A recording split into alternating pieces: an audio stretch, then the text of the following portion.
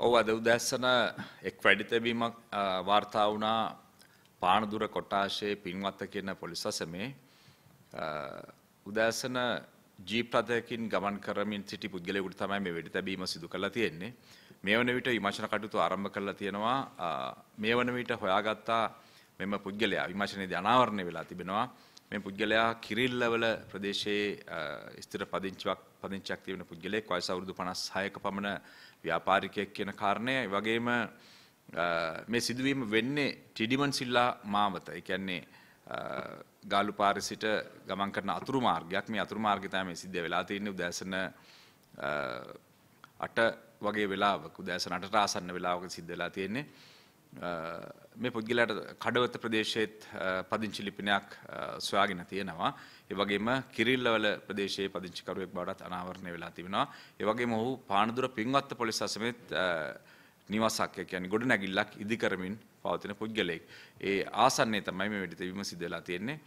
නමුත් කවුරුන් වෙඩි තැබුවද නැත්නම් කුමන හේතුවක් නිසා වෙඩි තැබීම සිදු කරාද වෙඩි තැබීම සඳහා කුමන ආකාරයකට දොම් පැමිණලා තිබෙන්නේ කියන කාරණේ මෙතෙක් අනාවරණය වෙලා නැහැ.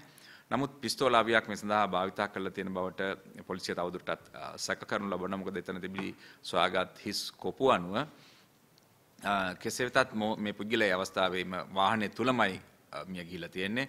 මෙම ස්ථානයට පොලිස් තාක්ෂණ කොට්ටාශය නිලධාරීන් ගිහිල්ලා මේ වාහනේ පරීක්ෂා කරන ලැබුවා විශේෂයෙන් මෙහි තියෙන කැමරා පදිස් සහ ඊට අදාළ දේවල් සොයා ගැනීම සඳහා ඒ වගේම සොකෝ නිලධාරීන් මේ ස්ථානයේ කියන්නේ කොට්ටාශ අපරාධ ස්ථාන පරීක්ෂණ නිලධාරීන් මේ ස්ථානය පරීක්ෂා කරනු ලැබුවා. ඒ වගේම නිලසුනක යන් යොදවලා මේ ස්ථානය පරීක්ෂා කරා. ඒ වගේම ඇඟිලි සලකුණු නිලධාරීන් මේ ස්ථානය පරීක්ෂා කිරීම කරා. ඒ නිසා අදාළ විද්‍යාත්මක සාක්ෂි සහ වෙනත් සාක්ෂි සොයා ගැනීම සඳහා මේ පරීක්ෂණ කටයුතු සිදු කරනු ලැබුවා.